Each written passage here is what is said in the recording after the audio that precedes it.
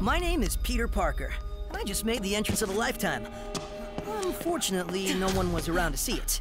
Or should I say, fortunately, no one was around, because I was just bitten by a radioactive spider. Hot.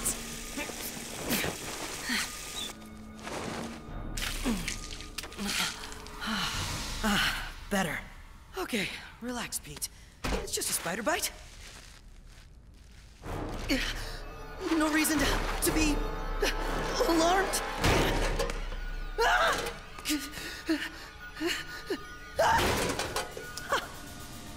I can see. I can see without my glasses. Okay. Okay, walk it off, Pete. Just walk it off. You've been bitten by things before, no big deal. There was that summer you were bitten by that dog, and I know at least a thousand mosquitoes have taken a nibble, so this is probably no different, right? Hmm? You in here, buddy? Pete? Hmm. I've got to get out of here. You'd think I'd share something this big with my best friend Harry, but my head was spinning and I felt like I needed to understand it myself first. Okay, focus, Pete. You can do this. This is just a problem like any other, right? Now, how would a scientist go about solving this? Right! The five steps of the scientific method!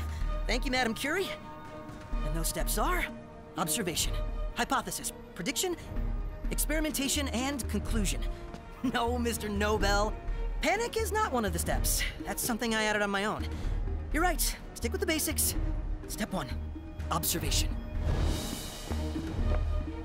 I have observed that I seem to have the powers of a spider, presumably given to me by one of the experimental spiders that got loose at Oscorp. Wait, what's happening? It feels like my entire body's covered in goosebumps. And they're all telling me to.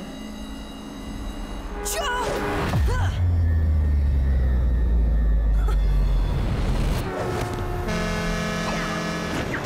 Hey, look at that kid! How's he doing that? Uh-oh, can't deal with this now.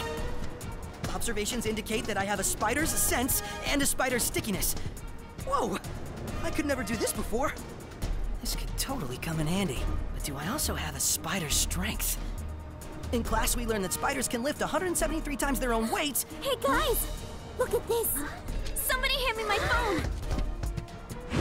And have you get a million hits thanks to me? I don't think so, lady. And that's a big yes for the super strength. Because this just got awesome. Música